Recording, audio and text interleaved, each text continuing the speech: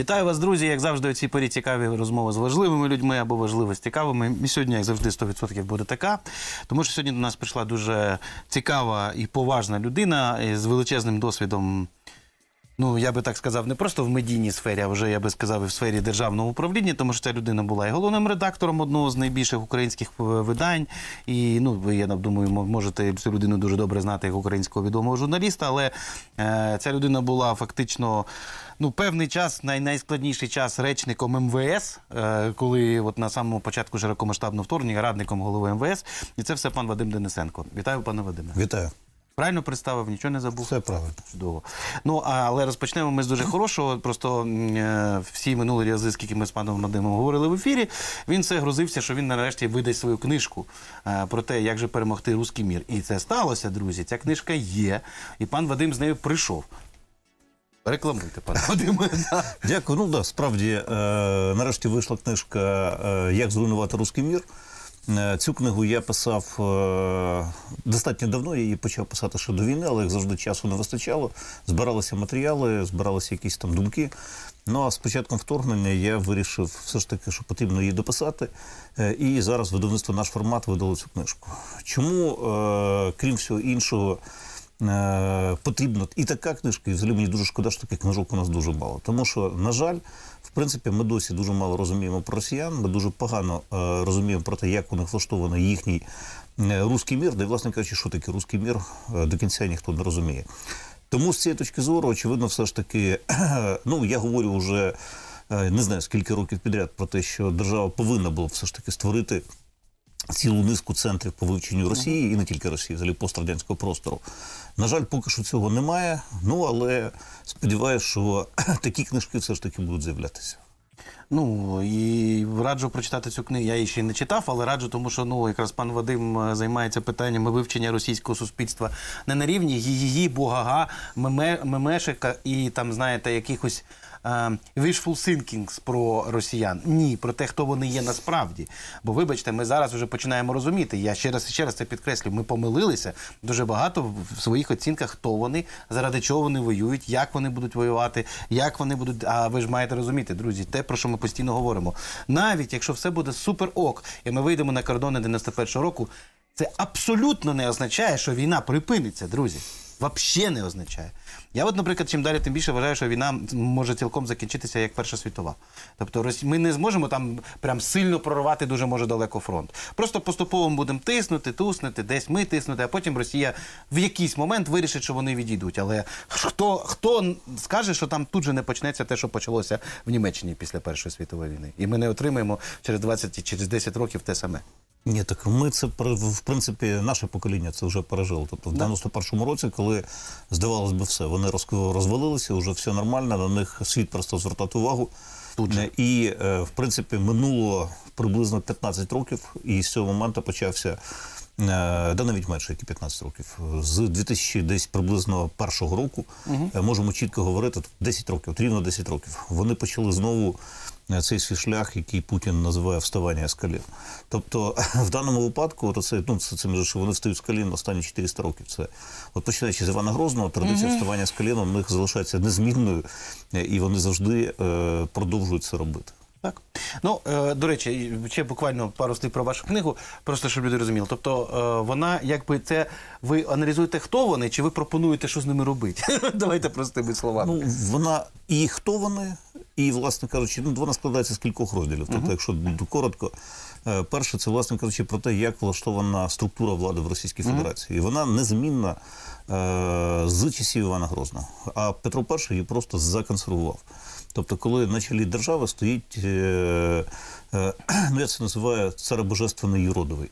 Тобто це лжеюродовий, який е, керує е, державою. А чому юродовий? Тому що юродовий це єдина форма свободи, яка була е, в Росії е, або в Московії на той момент точніше.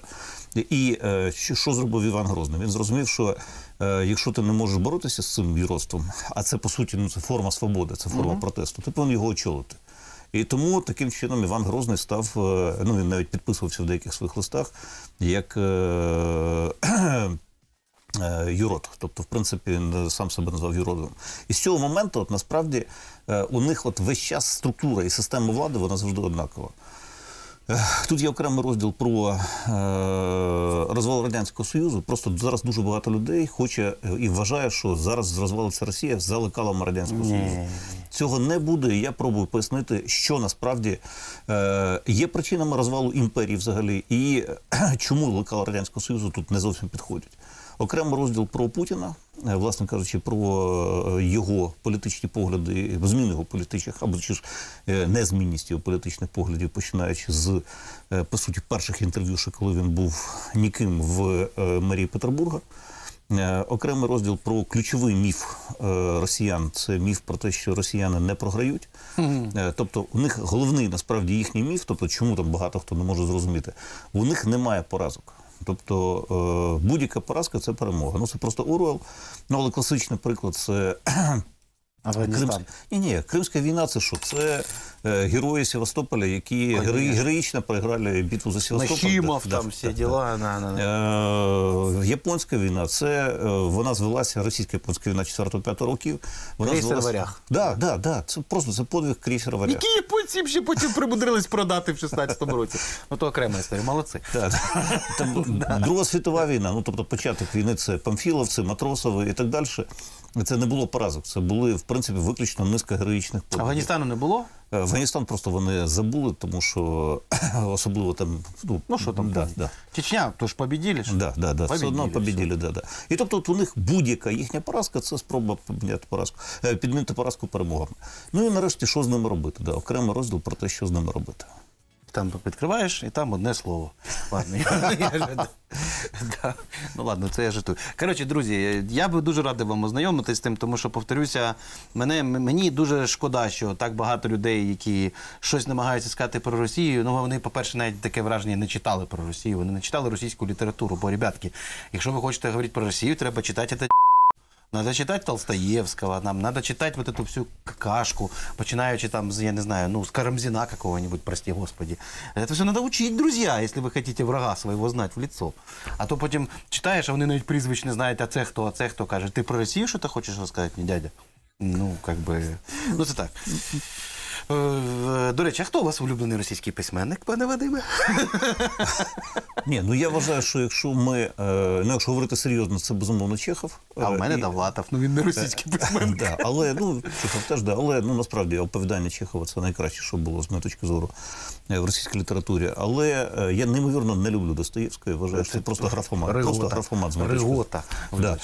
Але якщо ти хочеш зрозуміти Росію, то станом на зараз треба прочитати з моєї точки зору дві книжки: це е, Generation P Пелевіна і обов'язково День Прічника Сорокіна. Сто відсотків. Тобто, в принципі, от насправді відчуття, що люди просто пророче дивилися до багато процесів, особливо День Прічника. Тому, якщо хтось хоче зрозуміти, що відбувається у росіян в художній літературі, ну День опричника це просто must have.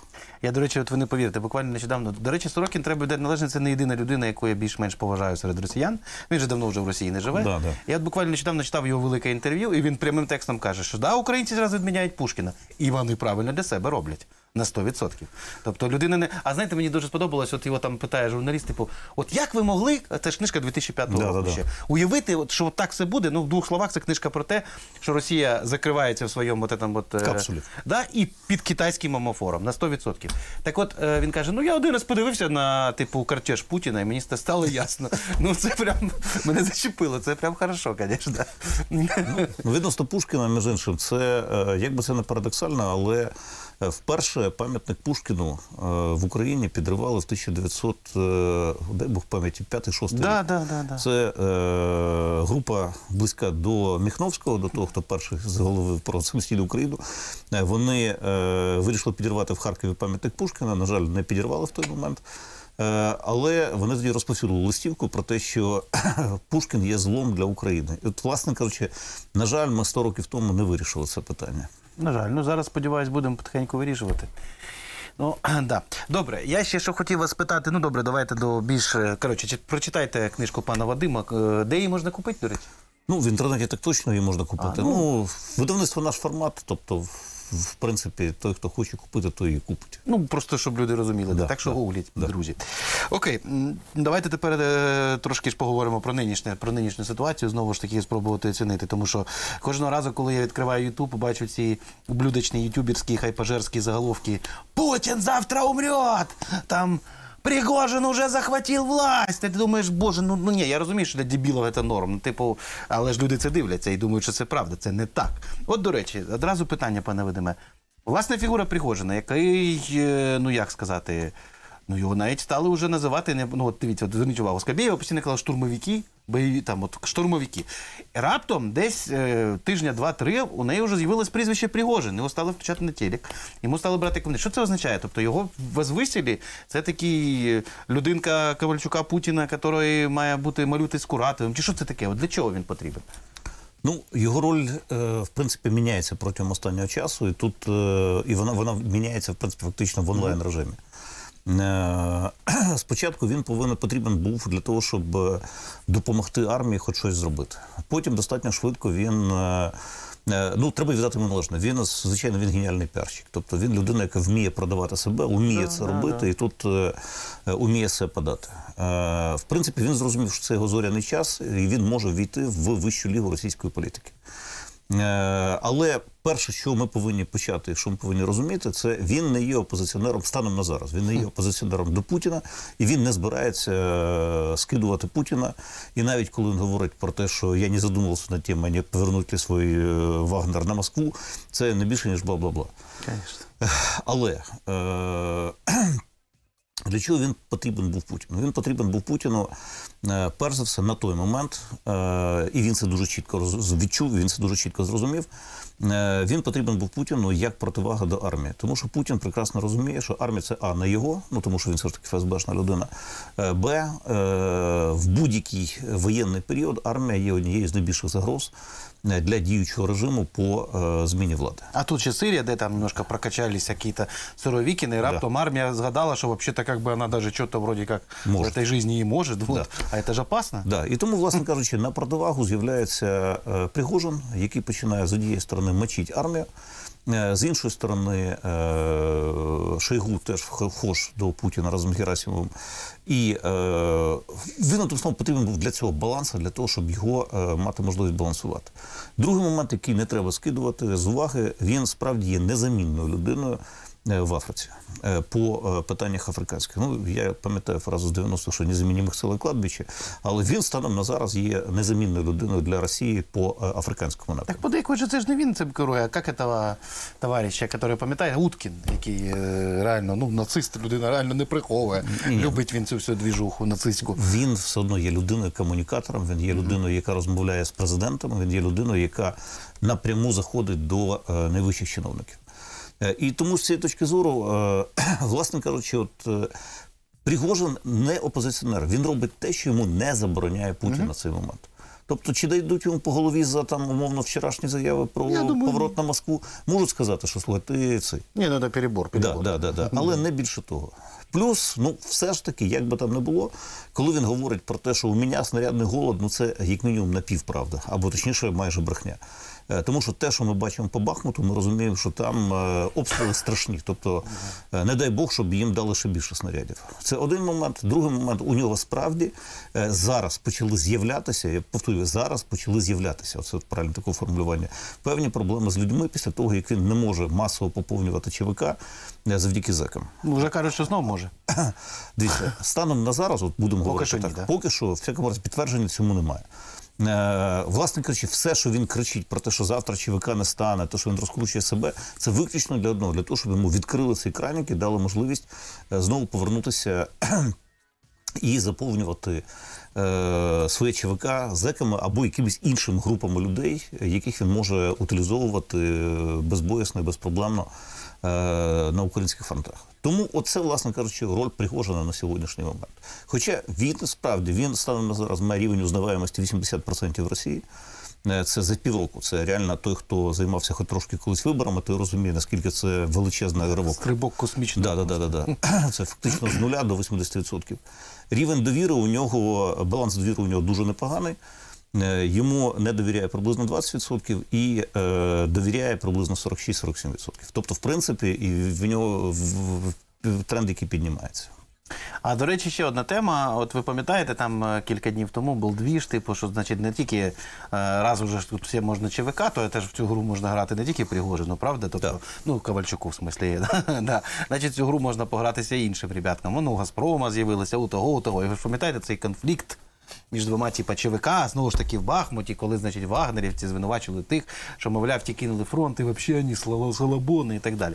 Це що таке, скажіть, будь ласка? Може, це іскарка того конфлікту, який потім, ну не зараз, ну колись потім з нього возгоріться плам'я, так би мовити. Чи це поки що. Ні, я думаю, що це внутрішні видові розборки, тому що е, Пригожин не може допустити появу іще одного міфологізованої структури, яка воює. Тобто йому станом зараз е, вигідніше вбивати всіх своїх конкурентів, ніж е, прямо на полі бою своїх ж вбивати росіяни маю на увазі, ніж е, щоб у них з'явився хоч який-небудь конкурент з яким-небудь більш-менш узнаваємим е, ім'ям.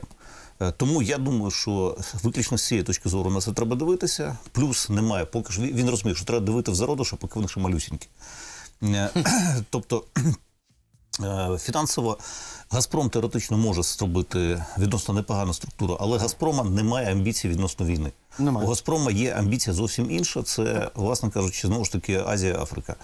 І дуже цікава заява вчорашня Кадирова, який заявив вчора про те, що я думаю о созданні там якоїсь міжгалактичної армії, яка буде допомагати добрим і боротися проти всього плохого. Ну але по суті Кадиров зробив такий пробний шар, закинув е, в простір з тим, що а Я дай, теж дай, хочу, я теж хочу, да. Але я думаю, що поки що Кадиров Кадирову нічого подібного не А дасть. зачем йому ЧВК? У нього ж є і так все є. Вони, У нього в- вони в структурі ці- Вони в структурі Росгвардії, і він її хоче він то чи не хоче, але воно все одно в якійсь певній вертикалі. А він хоче мати от свою приватну армію. Е, ну він східний деспот, тобто ну, він не може Батальйон. Ахмат. Да. Же є вже. але він в структурі Росгвардії. Ну, да, і да. його можна в будь-який момент сказати, а тепер батальйон Ахмат розформував, або там перекидуємо на далекий схід і буде там е, невідомо чим займатися. А він вийде і скаже: Ей, шайтан, я не відпущу своїх людей. Не зможе. І хто йому зробить? Не зможе. Я- Згадайте, як перед війною там ФСБшники пропадали, росії, росіяни, які приїжджали когось там били. Ну він же теж прекрасно розуміє, що в принципі обрізається певне фінансування. Ну це, це все речі, які потребують е, ускладнень. А якщо в тебе є приватна армія, от вона твоя приватна, тобі вже ніякий ФСБшник не зможе сказати. Угу. Ну, все одно це дуже добрий процес, розумієте? Це ж насправді саме те, чого Росії не можна в жодному разі допускати, по ідеї, в такій системі, коли появляється своя маленька, яка маленький. Це ж от, власне те, що свого часу завжди губило цю країну на Ну, дай Бог, щоб вони продовжували створювати подібні речі. Е, Але поки що, якщо ми будемо дивитися на крупні е, компанії, які можуть собі дозволити будувати е, ці приватні компанії, крім Газпрома, поки що ніхто не наважився. Сєчин, судячи з усього, у Роснефть, е, він, судячи з усього, працює по домовленостях із Вагнером, і, очевидно, все ж таки він е, дофінансовує. Так чи інакше, він дофінансовує Вагнер по певних проєктах. Е, Всі інші е, ці вежі Кремля вони поки що бояться і не хочуть створювати е, свої приватні компанії. Ну, побажаємо йому сміливості, ребята. Сміліє в бой. Ну що ж ви так-то? В конце концов. Ну, звісно, я розумію, що це ще до, до кінця цієї війни, до кінця Путіна ще дуже-дуже далеко, але чим більше тих по- поробить яких свої там угрупування, вони ж, ну це ж це, це що треба. Просто мені єдине, от що цікаво, як вам здається, мені здається, що на жаль, от те, що не вдалося, єдине, що не вдалося, найважливіше заходу за цей час, це щоб оці всі ребята раптом почали боятися захід більше, ніж вони бояться навіть не стільки Путіна, скільки факту, коли Путіна не буде. Тому що вони розуміють, як тільки Путіна нема, починається війна всіх проти всіх. А вони ж ніяк там не кодифікували свою власність, нічого. Вони розуміють, що як тільки нема Путіна, всі домовленості йдуть зразу в тартари. Значить, починається війна. Вони цього не хочуть, тому вони будуть за нього, мені здається, триматися до останнього. Ну, станом на зараз, в принципі, система просто влади в Кремлі, на відміну від там української, просто ми стараємося перенести нашу модель на е, російську. У них олігархи не означають нічого. Да. Е, Просто із топ 100 е, списка Forbes найбагатших росіян е, в вежі Кремля входить там 5-7 людей. Там Ковальчуки, Ротенберги там, і так далі. Але в цілому це все структури, е, всі ці найбагатші люди вони є обслугою. Попщак держить. Ну, ну, обслуга, от я інакше це називаю. Тобто сервісні послуги. Це офіціанти, повара, там, неважно, посудомийки. Білий воротничок. Да, да, да, да, да, да. І в даному випадку кожен із них, в принципі, з однієї сторони, він розуміє, що він рухається не туди, але в той же час е, у нього немає жодного важеля впливу на будь-які політичні процеси. От крім того, що ви сказали, треба ще розуміти от оцей процес. Ну, да. А от оцим от е, умовним там 5-6 групам, які реально управляють країною, е, ну, по-перше, їм всім уже майже по 100 років, крім групи Кирієнка і Грефа. Геронтократи. Ну, тобто, ну, ну куди там Сечин там старше за Путіна, Патрушев старше за Путіна, е, ну, Газпром. Е, Міллер. е, Міллер е, і Новотек, е, в принципі, вони теж люди приблизно того ж самого. Це, це люди в районі 70 років, а в цьому віці вже дуже рідко, коли люди роблять Різкі- різкі рухи і різкі перевороти. Хоча, якщо ми будемо говорити про те, чи є серед цих груп, цих веж Кремля, хоч хтось, хто теоретично. Ні, ні, не задоволені, вони всі не задоволені. Ну, Але це неправильно, тут не можна такими категоріями мислити. Хто теорет... ну, тобто, коли ти робиш переворот, ти думаєш про переворот, ти думаєш про те, як ти будеш робити на другий день. В принципі, скинути е, лідера Можна. це 50%, але 50% чи можливо 30%, а 70% це утримати владу. Е, Єдиний тандем груп, який е, зараз е, має всю, от насправді реально всю вертикаль, це тандем Ковальчук і Кирієнка. Хто має реальну владу в Росії? Ну і от на угрупуваннях, які дійсно керують. От ви згадали Патрушева, там згадали, кого ми ще згадали. М, е, Так. Ковальчуки, Так. е, Газпромовці е, і група Роснефті. Це от п'ять, це п'ять ключових груп, це п'ять ваш Кремля. Тобто, А Патрушев це окрема вообще це силовики. Тобто, Це- в це силовики. це силовики. Це силовики, і він контролює силовиків.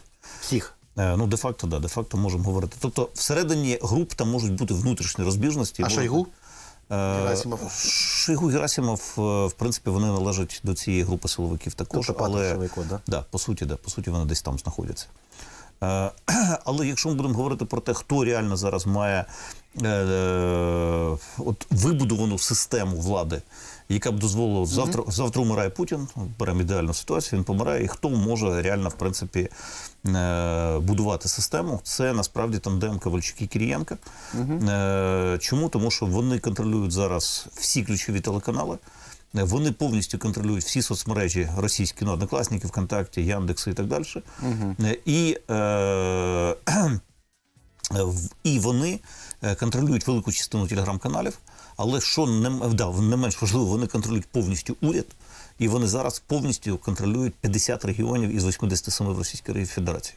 Тобто, фактично, Тобто Мішустін це їх людина. Да, Мішустін, Мішустін пробував створити свою групу до е, початку бойових дій, е, але спочатку ковід його трошки підкосив, е, а потім е, війна його, в принципі, е, загнала на цей момент в групу е, так званих технократів. І оце Пригожин це їх проект.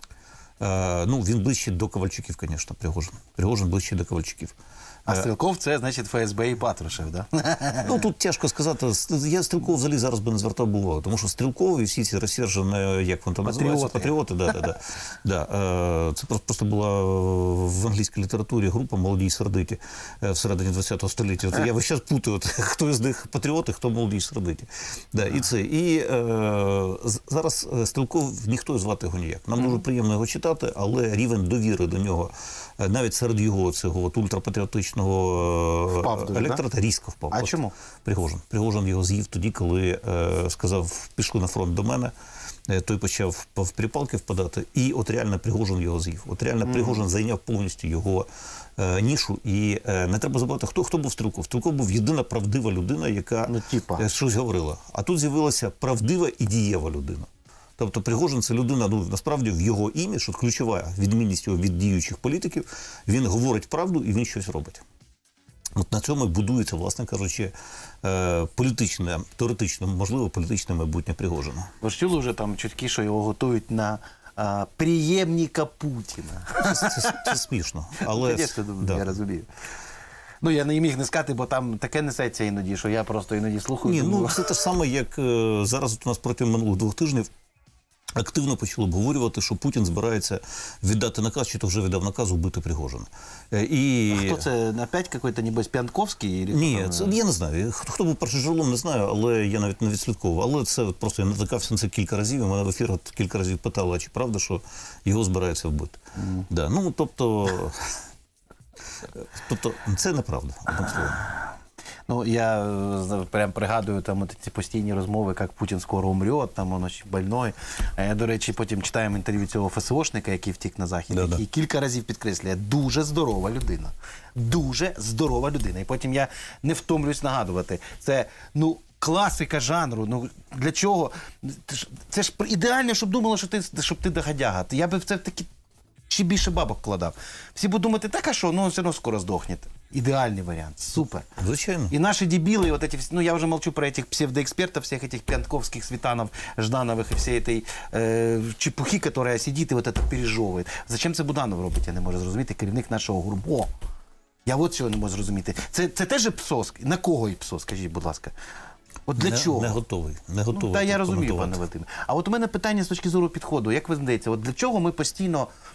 Окей, я розумію, що влада, наприклад, постійно завищує суспільне очікування, ну, наприклад, для того, щоб люди там якось примирилися з тим трешем, який коїться в Бахмуті, де у нас теж є втрати, люди гинуть кожен день, і це факт. Окей, я можу це зрозуміти. Ну для чого це зараз продовжувати?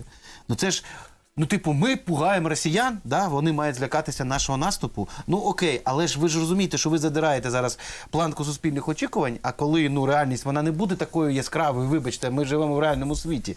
Ну, це ж буде величезний відкат. І купа реально людей, які живуть е, не в тогорінній війну, вони вже там не знаю, вони там може концерти в Ялті планують і так далі. Ребят, ну я для чого це?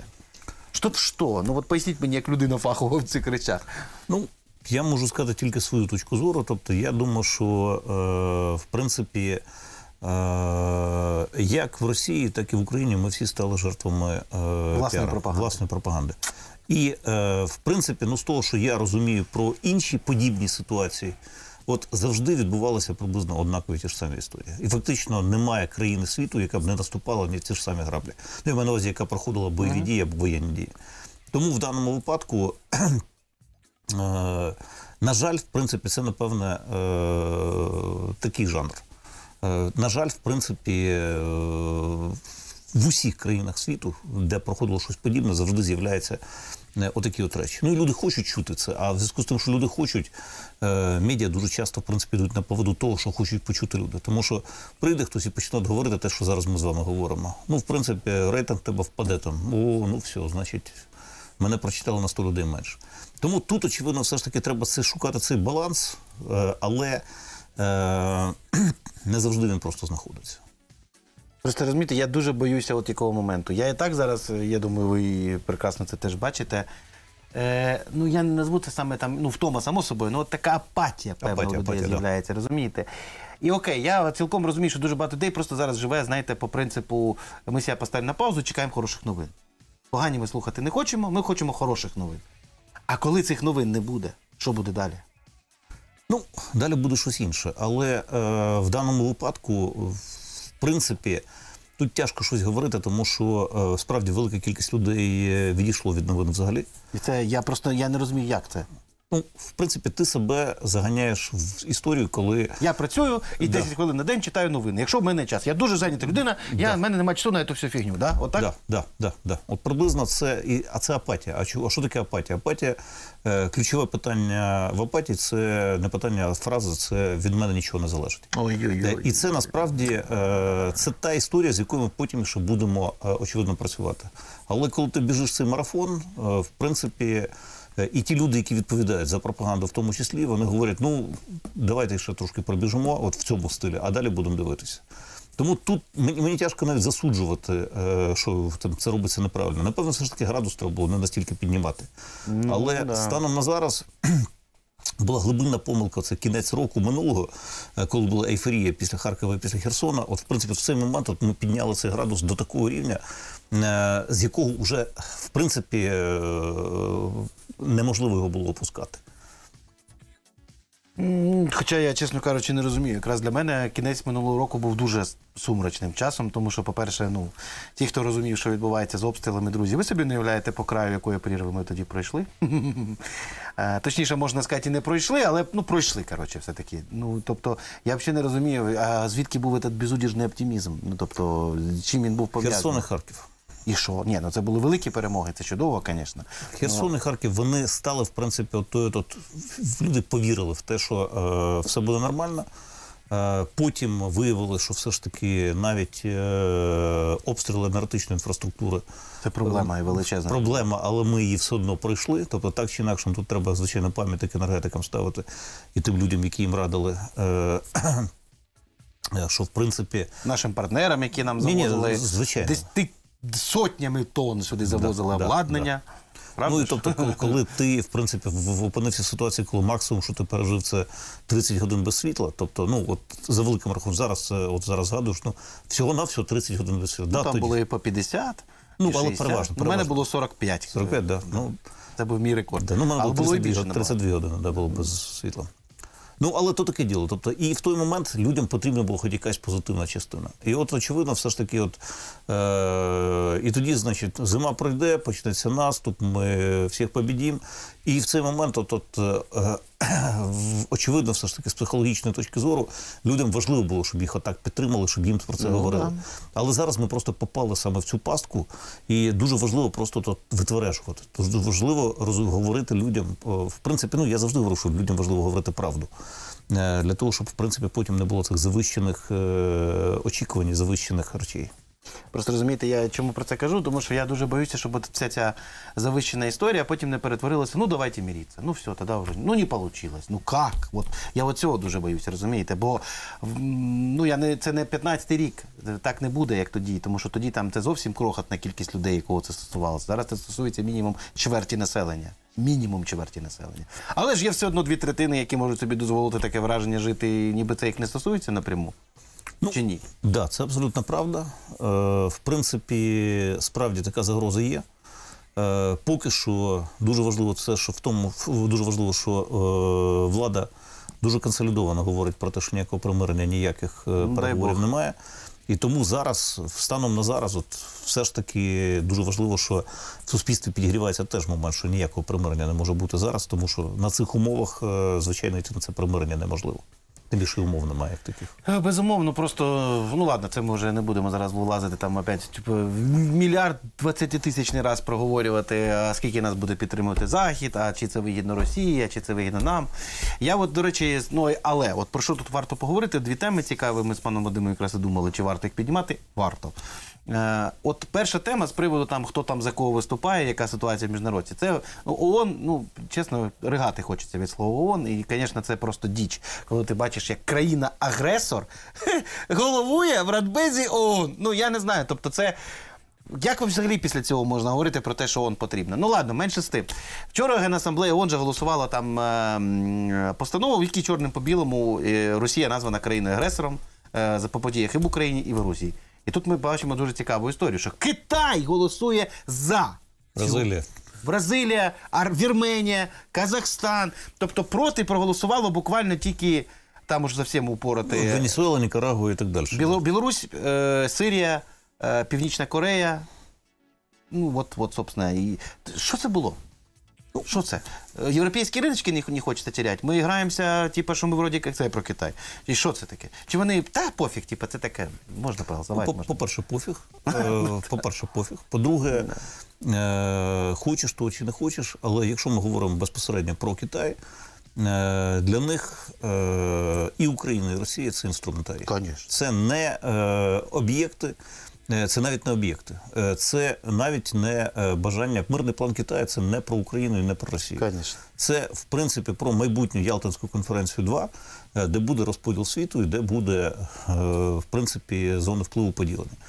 Е, Росія в цьому випадку потрібна і е, війна в Україні е, потрібна Китаю для, власне кажучи, просування своїх наративів, своїх ідей, своїх думок. І розхитування. І розхитування ситуації. Але ми ще повинні дуже чітко зрозуміти, що головна битва найближчого десятиліття в Європі це не Україна і не Росія, це Євросоюз. Тобто, хто притягне на свою сторону Євросоюз? США чи Китай? І е, там залишиться Євросоюз цілісною структурою. Ну, я думаю, що вони залишаться, але маю на увазі, е, чи будуть вони більш хитатись в сторону Китаю, чи будуть хитатись більше в сторону США, е, і так далі. і так далі. Тому от з цієї точки зору, от насправді треба дивитися на всі ці процеси. Я думаю, що якщо я Євросоюз, це моя особиста точка зору. В жодному разі не претендую на експертність. Просто мені так здається, що якщо Євросоюз хитнеться в Китаю, він розвалиться. Ну, ми цього не можемо виключати. Німеччина, Франція, ну тобто, умовно кажучи, просто буде поділ на нову і стару Європу. Да. А нова Європа буде проамериканською, пробританською, і нам з тією Європою по дорозі. От мені цікаво, де Угорщина опине. Ні, Угорщина буде, понятно, з Китаєм. Це Знову ж таки, треба дивитися Угорщина. Тобто, що буде через 5 років з Орбаном? Ну, тому Та він не такий старий, скільки йому. Йому там Ні, життя ж дає різні випадки. Тобто, в даному хто міг подумати, що двозначна що- фраза, пане Вадим. Хто міг подумати, що за три тижні до виборів е, З Ердоганом так Ердоганом може статися в принципі достатньо складний інфаркт. А це доведено, що це був інфаркт? Ні, це ми ніколи не узнаємо. Я думаю, що так само, як і Єльцин свого часу балотувався. Он з работал з документами, Да, да, да, да, да. я пам'ятаю. Да, да, да, да. Тому в даному випадку ми не знаємо про те, що це було. Але якщо людина не з'являється кілька днів е, на публіці, говорити про те, що це легка простуда, ну це чесно кажучи. Та він як з Христа знятий виглядає, ви знаєте, от на нього дивишся, реально, ти просто тупо на людині немає обличчя. Але як же він владу хоче? Влада це наркотик в даному випадку. А для нього це просто це для нього все. Це, це те, ради чого він жив все життя. І тут він майже знаходився на вершині своєї піраміди, своєї влади. От він ось ось і ще трошки, і він побудує свій цей великий туран, і тут на тобі е, з'являються проблеми. Ну, це прям це мене текел фарес, розумієте? Це прям біблійний сюжет. Ні, ну давайте не будемо спішити. да, да, да. Да, ні, ні, ні, ні, я, я чому говорю, що в принципі е, ніхто не виключає цих випадковостей. Ніхто і ніколи не виключає таких випадковостей. Що ж це випадковості з Путіним не відбувається, пане Вадиме? Скажіть, будь ласка. стануться. Я вже не знаю, яким, якому конкретно дьяволу він продав душу, що вони досі з ним не сталися. Поясніть мені, будь ласка. Я ну чесно, ну все вже... одно це має статись. Все одно це рано чи пізно має статись, тому, на жаль, на жаль, в принципі, просто нам треба пережити і цей момент також. Ну, тобто до того, що. Але так приємно читати російські всі ці сміттярки. Там зараз такий стоїть вой на цю тему насчет голосування Китаю. Це просто там, типа, сі, сволочь, там, РТТ. Да що ти. Как там вони там цитують, як там Путін казав, да это що такое вообще? В какой стране ми живемо? Це Ні, ну, прям приємно. На, насправді ми повинні зрозуміти, що візит Сі Цзіньпіня до Москви Да, да. він насправді показав, що вперше, насправді вперше за багато століть Росія стала васалом Чехії. Да, да. Тобто вони е, по суті не мають жодного голосу, і вони навіть більше того зовнішньому світу продають себе через Китай. Тобто, в принципі, Китай стає головним переговорником, Так. Е, і Росії цього не можуть не зрозуміти, не, не можуть не розуміти. Зараз вони критично залежні від Китаю. Вони залежні критично від трьох країн: це Арабські Емірати, Туреччина і е, Китай. ну точніше, гонконгська юрис- юрисдикція е, по сірому імпорту. Тобто, якщо завтра виключити ці три країни, в принципі, на жаль, воно не виключиться. Але якби це зробити, в принципі, російська економіка розвалилась би за півтора. Ну, як Радянський Союз було да, приблизно да, те да, саме. Да. А як ви думаєте, нема шансів, що е, ОЕ їх трошки, бо я бачу, що американці достатньо серйозно працюють на цьому. Зверніть увагу. ОЕ кранік почало підкручувати по деяких Ну, моментах. можна підкручувати, але поки що ну, для них це величезні капіталовкладення. Для них це просто величезні гроші, які були ну, вони стали головною гаванню по виведенню грошей із е, Росії. А, заманчиво, заманчиво. Тобто, в принципі, це, це от на тебе протягом року впало десятки мільярдів доларів. Тобто, просто от е, так само, як і Туреччина, я так розумію. Ну, Туреччина трошки інше. Там, в принципі, там створені тисячі фірм, які зараз займаються сірим імпортом. То це е, дрібний і середній бізнес, називаємо це так, а це зразу тебе крупняк такий прийшов. Хоча там теж величезні гроші, звичайно, крутяться і завдяки цьому.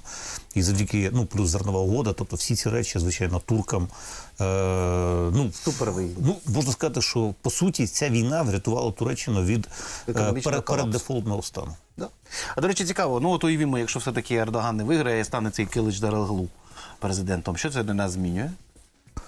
Е, Чи нічого не змінює? Нічого. Тобто Я він дум- буде те саме робити, що робив Ердоган в цьому сенсі. Ну, в принципі, може буде е, більш про.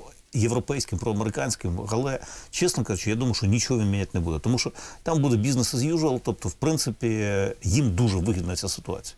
І він точно так же буде тиснути на зернову угоду, точно так же буде е, роб... ну, що, він буде робити все те ж саме. От в цьому конкретному кейсі буде робити те ж саме в найближчі там 3-6 місяців. Що буде далі, я думаю, що Ну, Це ще ніхто не знає. да, да, да. Тут мені здається дуже багато буде залежати знову ж таки від того, що буде відбуватися на фронті, друзі. Да. Але це таке. Окей, ще одне питання, яке от ми думали з вами говорити. Пан Вадим сьогодні зранку про це якраз пост написав. Опять сплила тут наш любимий. Ні, чесно, у мене певний час до католицької церкви навіть повага стала з'являтися, особливо коли був попередній папа е- Франциск. Вообще огонь. Прям, ну, от, от, от такий папа, знаєте, як. Ну, як мав бути, реально. Але тут е, з'явився цей пан з Латинської Америки, який, звісно. І він що там він займається? Тож у нас опять миротвор. Розкажіть, будь ласка, от про цей кейс дуже цікаво, і що зараз відбувається опять з римським папою нашим Ну, е, римський папа відвідав е, Будапешт, зустрівся із Орбаном е, і е, митрополітом чи архієпіскопом, не пам'ятаю точно посаду. Іларіоном, да. Іларіоном е, Московського патріархата в Угорщині. І несподівано сьогодні з'являється заява про те, що е, Ватикан має секретну миротворчу місію. Тобто це абсолютно несподівана така заява. Якщо тебе секретну місію про неї не говориться, угу. але дуже симптоматично, що це з'являється після розмови із Іларіоном. Хто такий Іларіон, просто щоб ми розуміли? Е, Це людина, яка багато років е, була керівником е, управління зовнішніх зв'язків Російської православної церкви. серйозна тема. Ну, тобто міністр закордонних справ РПЦ. Е, ну, тобто, це людина мінімум з генеральськими погонами, чи то головного розвідувального управління, чи то ФСБ, чи то якоїсь іншої розвідки. І рік тому його несподівано. Е, Виганяють із Москви і відправляють в почетну ссылку, навіть не почетну ссылку в Будапешт, де дуже мало православних громад, де по суті це е, більше така антуражна функція, ніж щось інше. І е, виганяють його із формулюванням, е, е, ну по суті, за те, що він відкрито не підтримав СВО. Да, да. Е, Як і Кураєв. Да, по, по суті, з нього роблять хорошого русского, якщо перекласти на людську мову. Тобто хорошого русского папа. Легендірують, да? Да, його легендують. Да, да. Очевидно, все ж таки саме для таких от місій, саме для таких розмов. Тобто, що буде далі? Яка це може бути секретна місія у папи? Ну, е, місія може бути тільки одна. Це е, цілком реально, що за його сприяння е, може щось відбутися із обміном військовополонених. Е, Сюди ж, очевидно, вони будуть притягувати російську православну церкву, ну, щоб показати, що це спільно е, католицька церква і російська православна. Щоб не дати нам МП. Е, д- щоб, не, дати, щоб не дати нам добити московський патріархат. Цілком реально, що може бути така історія. З іншої сторони, давайте не забувати про те, що папа римський повинен відігравати достатньо велику роль для росіян у створенні цієї антизахідної коаліції, тому що він є лівак по своїх політичних поглядах. Він людина, яка вийшла з Латинської Америки, і на відміну від Іоанна Павла II, який по суті був проамериканським папою римським е, і прозахідним папою римським, який де-факто зробив все залежне для розвалу радянського союзу е, і багатьох інших процесів, е, які відбувалися, але в той же час. Е, До нього достатньо е, у нього були достатньо складні стосунки із е, латинськими єпископами. Тому що тоді вони займали переважно лівацькі функції, і е, вони були анти. Американські. Антиамериканські. Чому? Тому що їхні режими були переважно американськими чи проамериканськими. І вони виступали проти тиранії, ну, всіх цих самос і інших проамериканських лідерів. Зараз хитнувся маятник в пряму протилежну сторону, і зараз, от, е, що робить е, Франциск, він робить, в принципі, прямо протилежно до того, що робив е, Іоанн Павло II. Він де-факто створює антизахідну коаліцію е, через церковні свої е, можливості. Ну він так просто втратить Європу. Ну з іншого боку, Європа і так сама вже дуже не католицька, м'яко кажучи. Е, Нема що вже напевно втрачати, так би мовити. Хоча є Польща. Ну, Дуже католицька країна. І, до речі, Угорщина достатньо. Ну як, Угорщина менше, звісно. Ну, поляки, чехи, наприклад. Ну, чехи теж да, да, поляки, поляки, поляки. поляки це Польща і Італія, це найбільш Да. католицькі країни, і Іспанія. Іспанія, да. Да, да. Ну, напевно, Португалія, але Португалія менше. Але е, в цілому е, я не думаю, що йому щось особливо вдасться, якщо чесно, тому що в кожній країні. е, В принципі, єпіскопат є, в принципі, той, який є в цій конкретній країні. І він відіграє, е, він буде грати в свої ігри. Тому думаю, що особливо йому не вдасться, але це справді такий достатньо серйозний союзник, який з'явився у Путіна на цей момент. Тобто саме союзник, от ви вважаєте, що вже можна навіть так його назвати союзник. Ну, інакше я не можу це назвати, тому що все те, що він робить протягом останніх років, е, із всіми цими хресними ходами українців і росіян, і так далі, і так далі, це виключно е, говорить мені не про християнську місію, а про союзницьку місію. Мені одразу згадується фільм Хрещений батько 3. Пам'ятаєте, там, ну, якщо ви не дивились, друзі, там же ж є така очень конспірологічна теорія про те, що насправді а, Іоанн І, Іоанн Павло І, римський папа, а, який був налаштований на дуже серйозні, скажімо так, чистки в католицькій церкві, був вбитий. Тому що ну коротше, подивіться фільм Кричаний батько 3, якщо ви досі не дивилися. От, але про те, що Ватикан може мати справу з брудними грошима і російськими в першу чергу. Я що то прям взагалі жодних сумнівів насправді не маю. Тим більше це дуже закрита структура. І звідки в неї бабки, чесно кажучи, я, мені здається, ніхто до кінця не знає. Я так думаю, напевно. Да, цікава історія у нас випливає. В общем, звісно, зараз е, мені єдине тільки шкода, що зараз реально нас дуже. Я, я не те, що там я не мені без різниці, я просто симпатизую греко-католикам в сенсі того, що вони дуже дієва церква в багатьох моментах. Вони зараз діяльність цієї- цього персонажа дуже серйозно підважує греко-католиків в нашій країні, тому що кажуть, а це ваш папа, ну ідіть нафіг тоді. Да, це правда. Це насправді ну не треба забувати, що їх е, до 5 мільйонів в Україні І це серйозно. греко-католиків. Тобто кожна восьма людина в країні греко-католик. Тому в даному випадку це реально величезна кількість. Ну, що ж, тут сказати. Цікаві процеси, звісно, йдуть в світі. Дуже цікаві. Дуже б хотілося б все-таки, щоб Україна. Я навіть погоджуюсь, що ми були б трошечки на периферії, але от так цікаво на це було подивитись збоку, якби ми не були в самому-самому центрі всього цього треша, який коїться. Добре, дякую вам дуже за розмову. Ще раз нагадую про книжку, яку пан Вадим випустив. Е, Не забувайте її прочитати, тому що ну, якщо ви хочете розуміти руський мір і як його зруйнувати, треба розуміти, як його зруйнувати. Для цього треба прочитати книжку Вадима Денисенка. Дякую вам дуже за розмову. Повторюся, Вадим Денисенко, відомий український журналіст, е, медійник, е, уже тепер письменник чи публіцист. Напевно, так називається. Публіцист, напевно. Ну, називаємо це так, да. Тому що письменник, да, це як-то сразу там какой-то там. Ні, ні, ні. Письменник це не те слово. Окей. Дякую вам дуже за розмову. Побачимось, почуємося. Обов'язково до зустрічі.